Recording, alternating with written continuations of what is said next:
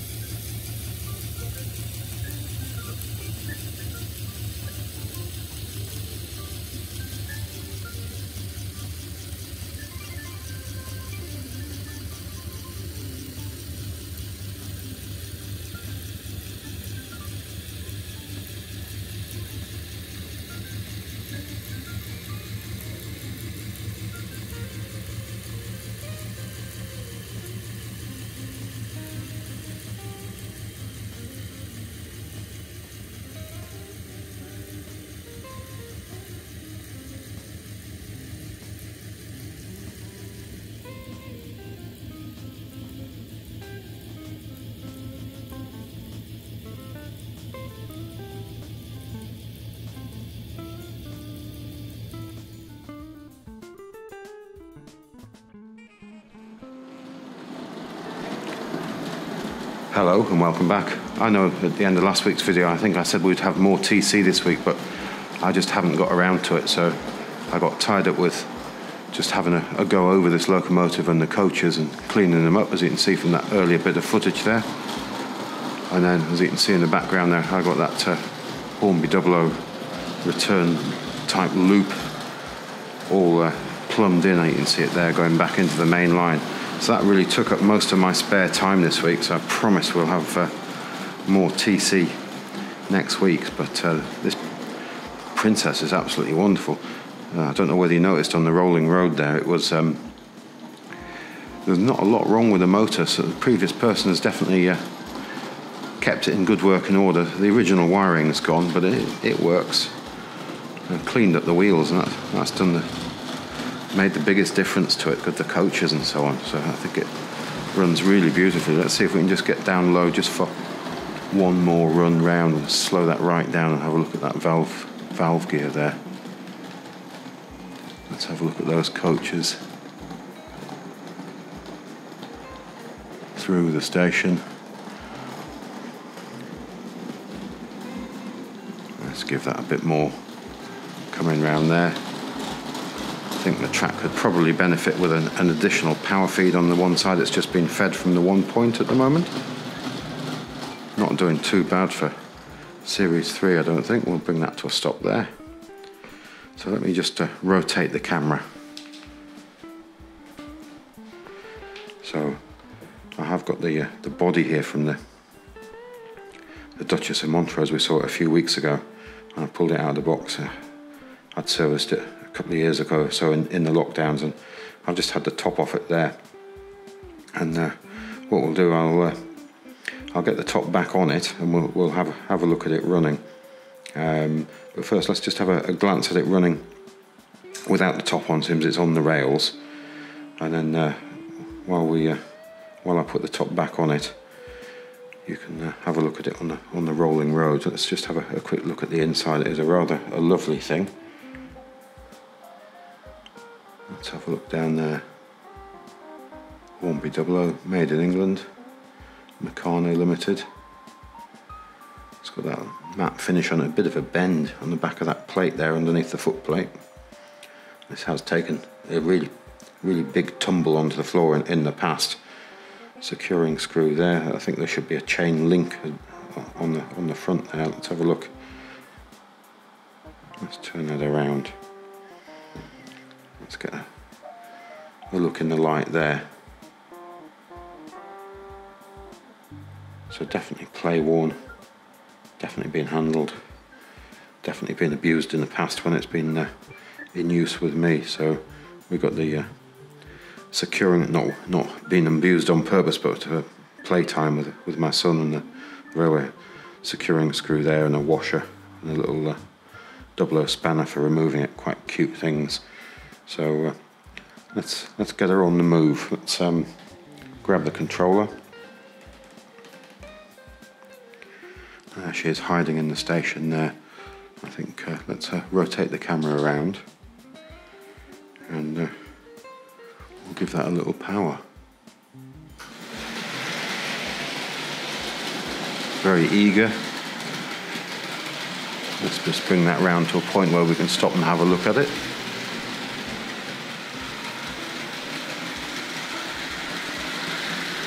Couple of those coaches. I think we saw those a couple of weeks ago. Let's just pause that there and have a swift look over it. So fairly tidy sort of thing when you look on the inside.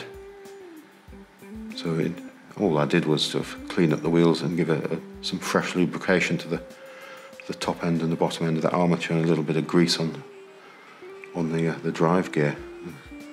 And uh, it seems to run really really nicely. Let's let's give that a little bit more power. Let's stay in tight while that uh, moves off.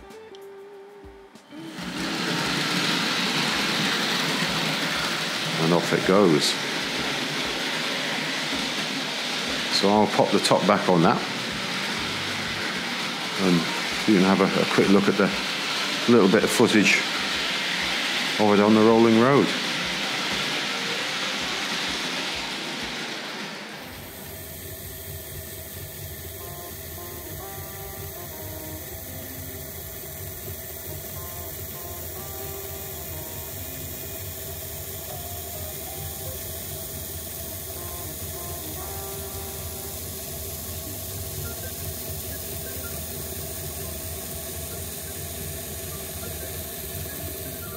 So here we're on the other side of the railway for a change. I've got the, the body back on the, the locomotive there, so just have a, a quick look down the, the, length of the train there. Just the two coaches on today.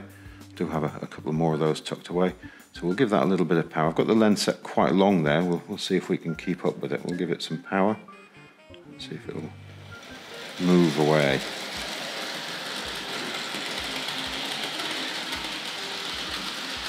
Lovely sound, we've got that freight train sitting there.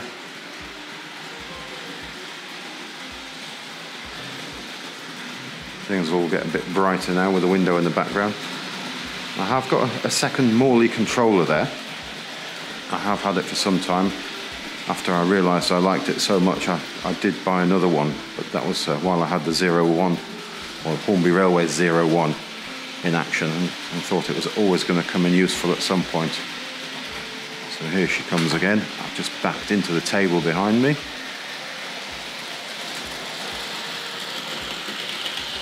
We'll just give that once more around. I know, we'll, perhaps we'll just leave that running. And we'll see if we can get the princess underway. Let's see if I can keep... I'm, I'm sorry, I'm looking down at the floor for the other controller here. There we go. I'd hidden it under the bench thinking I would be clever and pick it up, but then couldn't remember exactly where I'd put it. So let's uh, follow that round once more.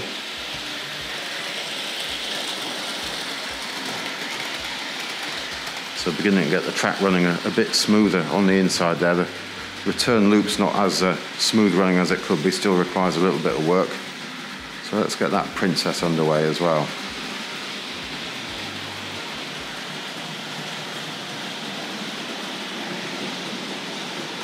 Here she comes. Absolutely beautiful thing that. Really glad I found this set at that show the other week.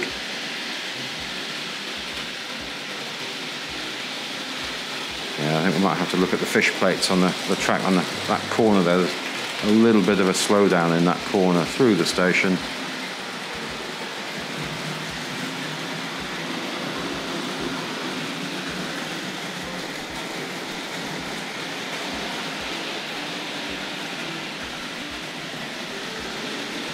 We go. I think we'll bring that to a stop in the station.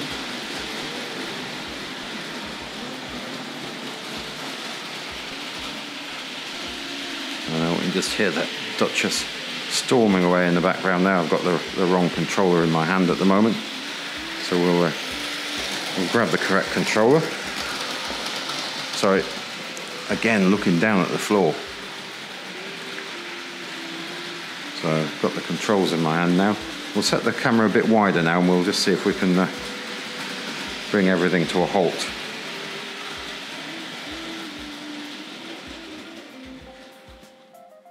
There. Let's just back that up.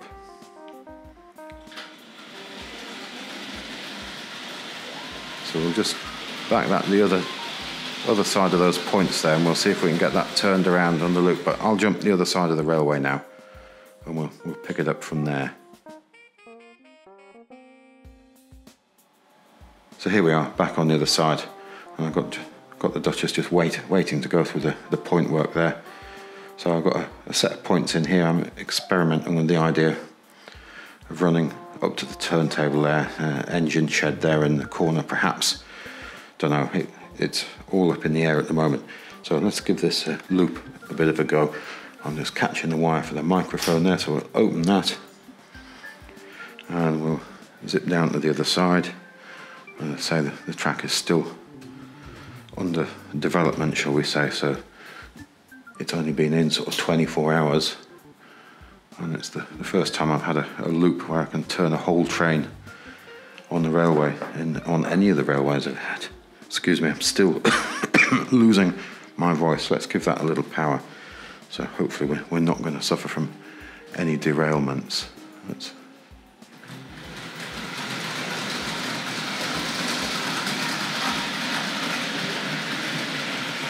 haven't collided with the station, which is a plus point. Track does keep creeping.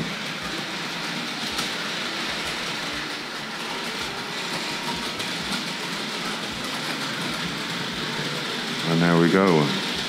We're all turned around. We'll, we'll bring that to the station. We'll just stop that there. And I'll uh, attend to the point work again. Lean over here. And I apologise again about the, uh, the the coughing fit. I really can't get rid of this. There we go. So, Duchess now facing the other way. Let's give that a run round.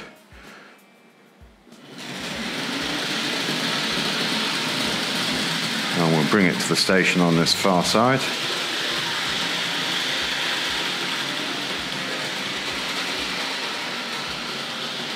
Bring this to a, a gentle stop.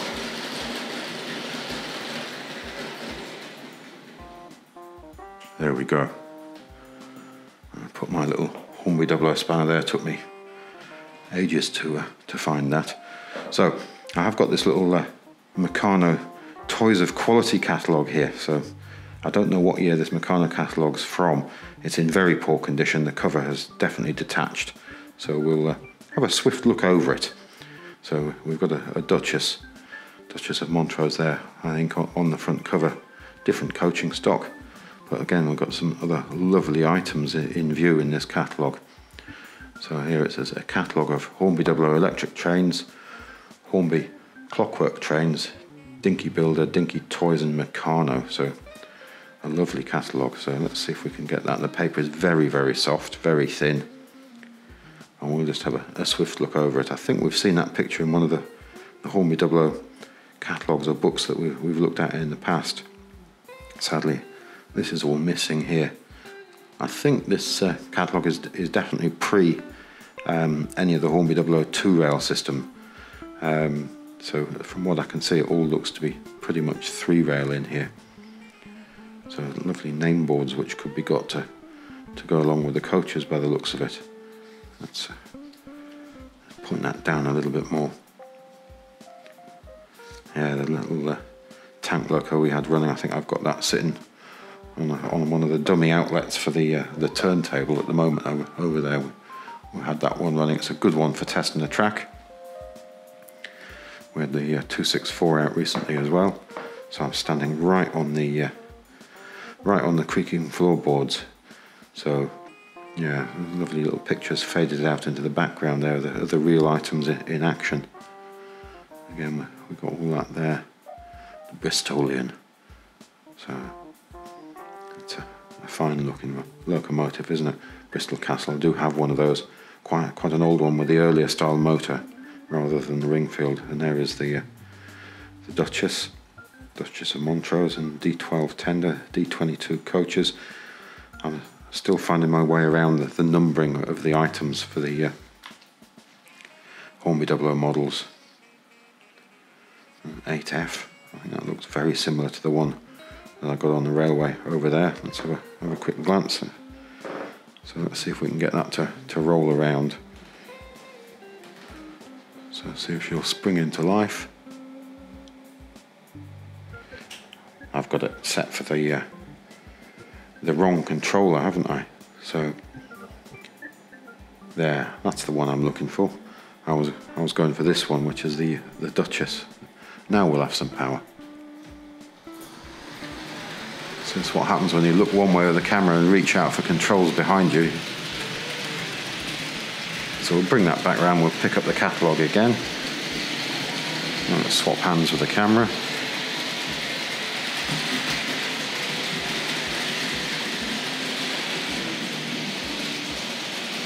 All sounding fairly well behaved.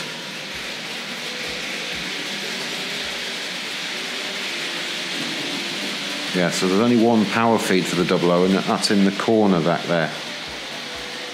Well, it's two power feeds, one for each line, but um, that's where it's fed at the moment. I think we're probably going to have to uh, introduce some additional ones around once we get a little bit more serious with it. So yeah, I, th I think that 8F is very, very similar. Let's just rotate the camera and uh, we'll zoom a bit in a bit. It's not the best background it's against at the moment. There's a Hoover and a 3D printer over there. So that looks very similar to the one we're looking at in, in the catalogue there. Let's uh, go back around with the camera and zoom out. Again, these rather lovely pictures. I think they're, they're great of the prototypes in, in, in action on the real railways. We won't point at everything on, on all the pages, we'll just have a, a leaf through some terrific rolling stock.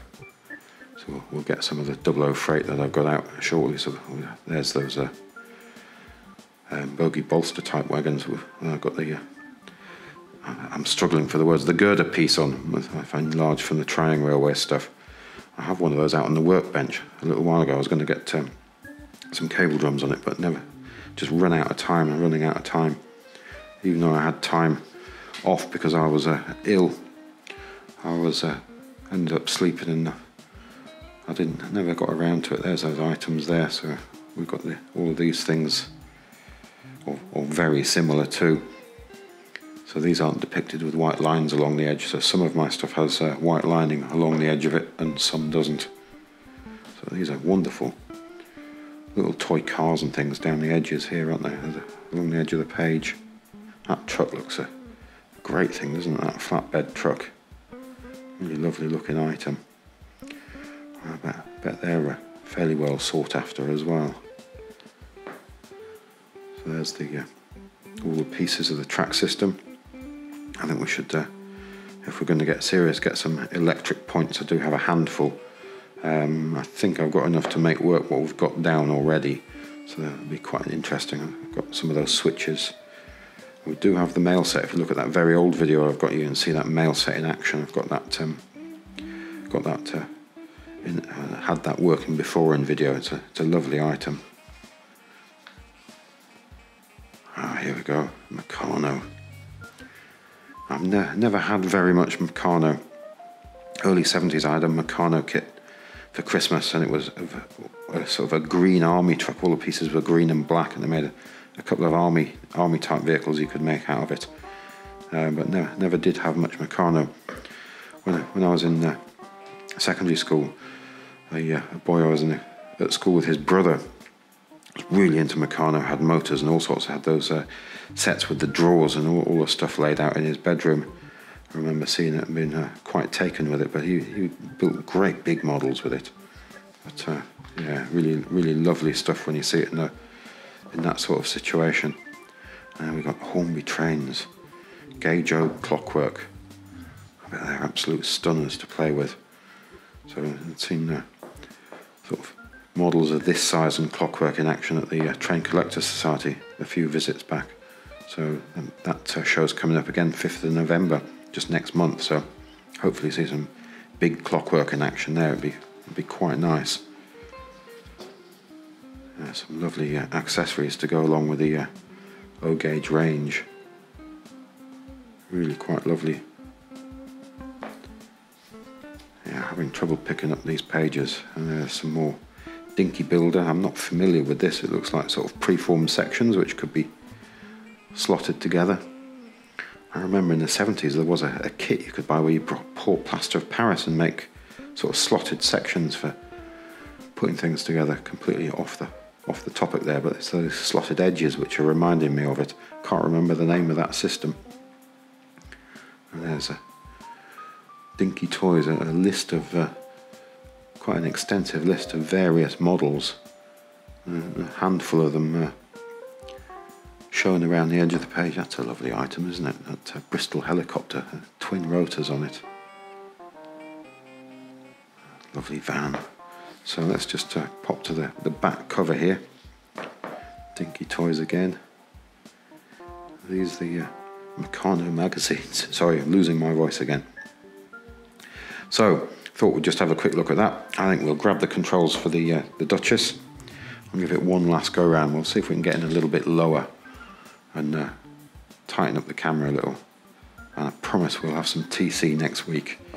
So here we go. Let's give that some power.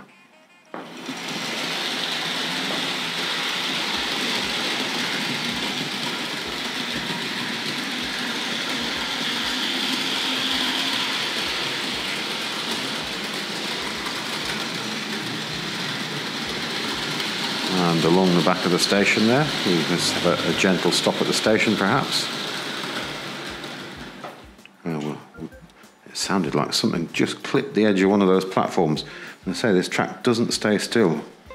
So let's give that a little more power and see if we can move that away again.